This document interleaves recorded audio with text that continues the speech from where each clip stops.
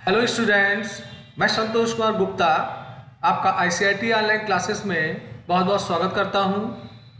आज का जो हमारा वीडियो है, इसमें हम लोग बात करने वाले हैं यूपीआई के बारे में यूनिफाइड पेमेंट इंटरफेस तो आज के क्लास में हम लोग सीखेंगे कि यूपीआई क्या होता है, कैसे किया आता है, इसके बेनिफिट्स क्या हैं।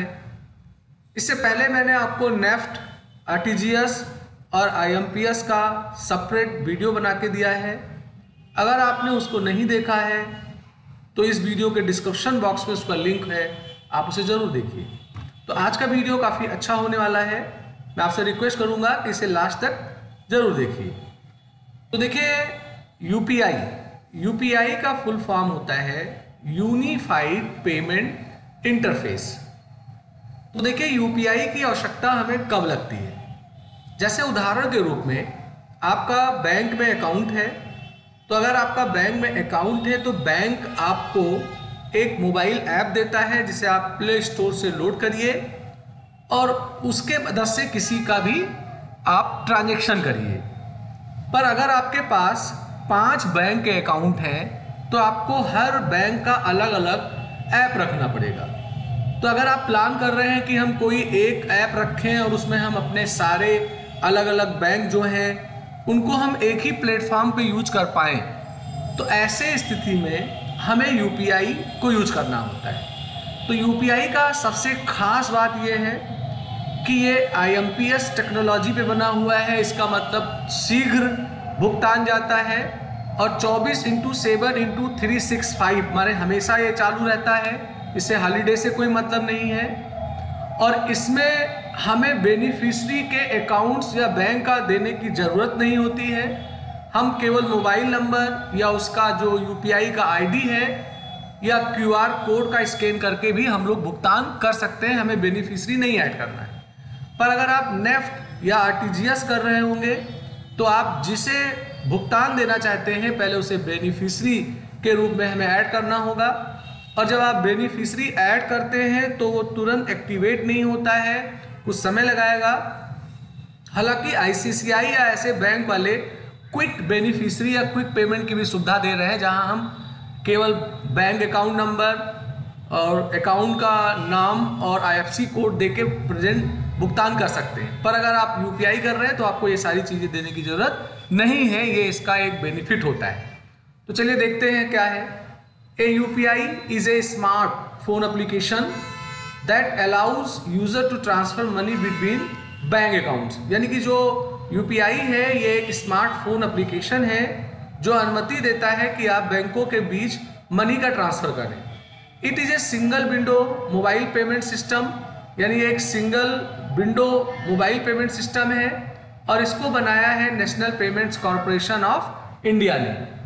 It eliminates the need to inter bank detail माने इसके अंदर हमें बैंक डिटेल देने की ज़रूरत नहीं होती है। Other sensitive information each time a customer initiated a transaction माने आप जब भी ट्रांजेक्शन करेंगे तो आपको हर ट्रांजेक्शन के लिए बेनिफिशरी का डिटेल देने की ज़रूरत नहीं है। भाई, अगर आप सब्ज़ी खरीद रहे हो, सब्ज़ी वाले को सौ रुपया दे रहे हो आप मान लेते हैं कि कोई ग्लोसरी के दुकान पे हो, कोई भुगतान ले रहे हो तो ज़रूरी नहीं कि उसे हम हमेशा भुगतान देंगे कि उसे बेनिफिशरी में ऐड करें टाइम लगे। सीधे आपने उसके यूपीआई आईडी या क्यूआर कोड के माध्यम से पेमेंट कर दिया बेनिफिशरी नहीं ऐड करना है। It is a secure and easy way of making payment माने ये बहुत आसान और सुरक्षित भुगतान करने की प्रणाली है, और ये हमेशा काम करेगा, चौबीस into seven three six five days काम करेगा। और यूपीआई का जो लिमिट है ट्रांजेक्शन का, वो वन लाख रुपये पर डे है। और एक और ख़ास बात, इसमें आपको कोई भी चार्ज नहीं देना है, इसका कुछ भी पैसा भुगतान का नहीं लगता है। आप इसके ज़रिए bill payment mobile phone recharge या कोई भी शॉपिंग का काम कर सकते हैं। नॉर्मली यूपीआई का प्रयोग fund transfer bill payment mobile recharge shopping payment balance check या और भी अन्य बैंकिंग से रिलेटेड भुगतान जहाँ भी करना है, ऑनलाइन हम कर सकते हैं। Ways of making payment through UPI माने क्या तरीका है इसके द्वारा भुगतान करने का? तो यूजिंग पेज यूपीआई आईडी यानी आपके पास जिसे भुगतान करना चाहते हो, अगर वो भी यूपीआई यूज़ कर रहा है तो उसके आईडी के माध्यम से आप कर सकते हो। या उसके अकाउंट नंबर और एफ़ कोड के माध्यम से कर सकते हो, या उसका जो मोबाइल नंबर है, उस मोबाइल नंबर से भी आप उसको भुगतान कर सकते हो via phone contact you can make payment by by only selecting pay contact number in this case you do not need details of payer और आप स्कैन करके भी पे कर सकते हो जैसे क्यू आर कोड तो ये माध्यम है जिनसे हम पेमेंट करेंगे। इसका बेनिफिट क्या है? बेनिफिट ये है कि ये ऑल टाइम एक्टिव है हॉलीडे से इसका कोई मतलब नहीं है। आपको बेनिफिशरी ऐड करने की ज़रूरत नहीं है। आप एक लाख रुपए तक भुगतान बिना किसी चार्ज से कर सकते हैं। आपको केवल एक ऐप की ज़रूरत होगी और उसमें कई बैंक अकाउंट को आप ऐड कर सकते हैं। उनके अलग अलग ऐप डाउनलोड करने की हमें ज़रूरत नहीं है। यूपीआई जो होगा वो स्कैन यानी क्यूआर कोड के माध्यम से भी भुगतान करने के योग होता है। तो ये इसके लाभ हैं हमारे यूपीआई के। यूपीआई का जो ट्रांजेक्शन लिमिट है, इसकी बात कर लेते हैं। तो एन पी सी आई है set transaction limit and per day transaction limit for UPI transfer यानी जो एन पी सी आई है, जो इसे बनाया है जिन्होंने, इन्होंने इसके ट्रांजेक्शन की एक लिमिट और एक दिन में कितने ट्रांजेक्शन करोगे, उसकी लिमिट बना रखी है। At present the U P I transfer limit per U P I transaction one lakh, माने एक लाख रुपए तक का आप एक दिन में ट्रांजेक्शन कर सकते हैं। This limit is enable us UPI is based on IMPS technology ये IMPS टेक्नोलॉजी के ऊपर ये लिमिट काम करेगा। In most of cases the maximum number of UPI transaction is limit to 20 माने कभी कभी क्या होता है कि आपको फैसिलिटी मिलती है कि आप एक दिन में 20 बार ट्रांजेक्शन कर सकते हैं। Though the transaction limit per UPI transaction is one lakh माने आप एक बार में एक लाख रुपए का ट्रांजेक्शन कर सकते हैं। The upper limit depends on the bank to bank यानी इसका जो अपर लिमिट है वो बैंक टू बैंक के ऊपर आधारित होगा। There for upper limit could be between ten thousand to one lakh rupees the transaction limit per day for U P I one lakh the maximum limit for Bhim Bhim एक app आता है जिसकी बात मैं अभी आगे करूँगा, वो भी यूपीआई के लिए यूज़ किया आता है।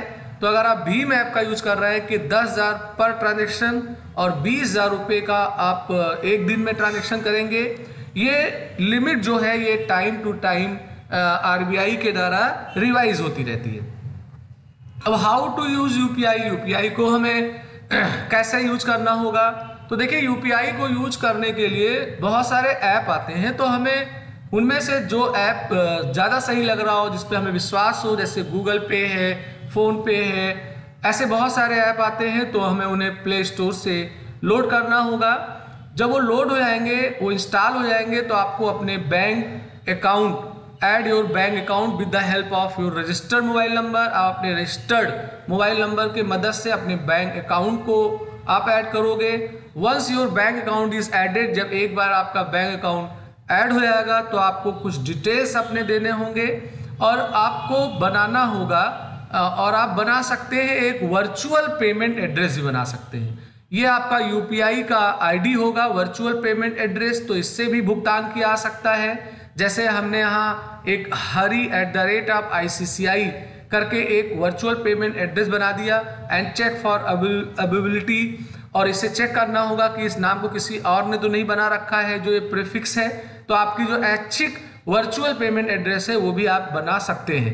फिर आपको सबमिट पे क्लिक करना है तो आपका कंफर्मेशन आ जाएगा कि आपका रजिस्टर्ड हो गया है।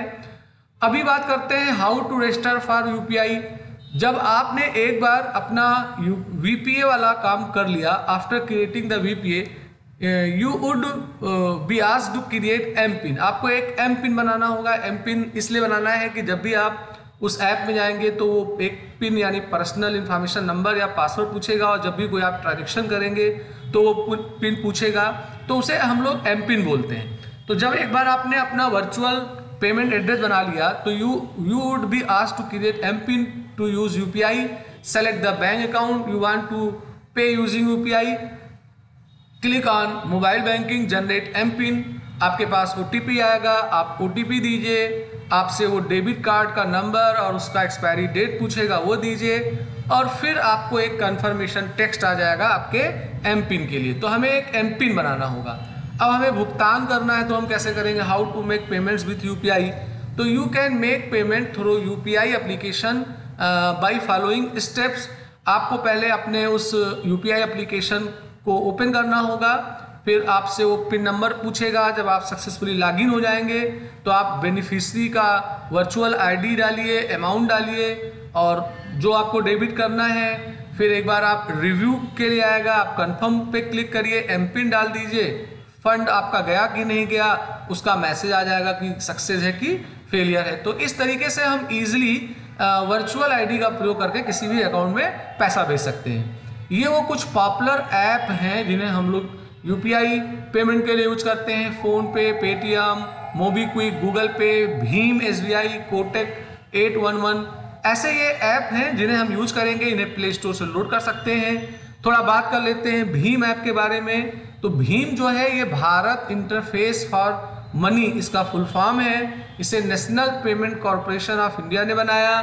इसे हमारे भारत के प्रधानमंत्री माननीय नरेंद्र मोदी भी जी के द्वारा 30 दिसंबर 2016 को इसे शुरुआत किया गया था। Bhim facilitate digital payment through UPI. हम यूपीआई के माध्यम से इसमें भुगतान करते हैं और वर्चुअल पेमेंट एड्रेस बनाते हैं।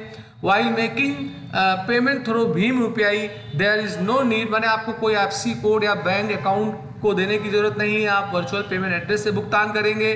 ये क्यूआर कोड को भी सपोर्ट करता है आप क्यूआर स्कैन करके भी अपना भुगतान कर सकते हैं। तो ये एक हमारा वीडियो था जिसमें मैंने आपको यूपीआई के संबंधित डिटेल्स दिए। अब आ, मैं आपको अगला एक वीडियो दूँगा जिसमें मैं चारों के बारे में डिफरेंस बताऊँगा। चारों का मतलब ऐसे हमारा नेफ्ट है हमारा आरटीजीएस है हमारा आईएमपीएस है और हमारा यूपीआई है। हालाँकि सेपरेट सेपरेट चारों का वीडियो है अगर आप उन वीडियो को देखोगे तो आपको ऑटोमेटिकली उनका डिफरेंस समझ में आएगा। मगर मैं एक अलग से पांचवा वीडियो डालूँगा नेक्स्ट जिसमें मैं इनमें डिफरेंस दिखाऊँगा। तो मैं उम्मीद करता हूँ आपको मेरा आज का वीडियो अच्छा लगा होगा। अच्छा लगा हो तो लाइक करिए शेयर करिए सब्सक्राइब बटन पे क्लिक करके आप बेल आइकन को ज़रूर लिया करिए, जिससे मैं नया वीडियो बनाऊँ तो उसका अलर्ट आपको तुरंत मिल जाए। इसी के साथ मैं अपना वीडियो समाप्त कर रहा हूँ। नेक्स्ट मैं आपके लिए जल्द ही नया वीडियो लेके आऊँगा। आपका दिन शुभ हो।